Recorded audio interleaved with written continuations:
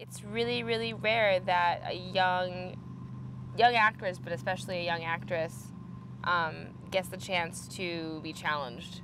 Um, usually, A, women are mostly playing accessories to men, and then young women are kind of playing uh, kind of one-dimensional characters, and uh, these are all really complex, interesting, challenging characters for written for young people.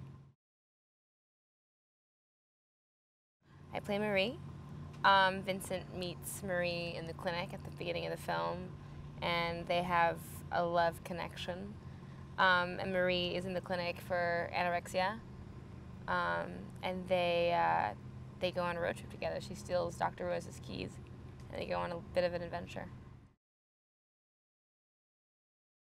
A lot of women deal with uh, self-esteem and body issues, especially women in this industry, and um, you know, I was once a teenager, and that's a really, really hard time. Marie's older than that, but I, you know, um, I can relate to the torment of self esteem.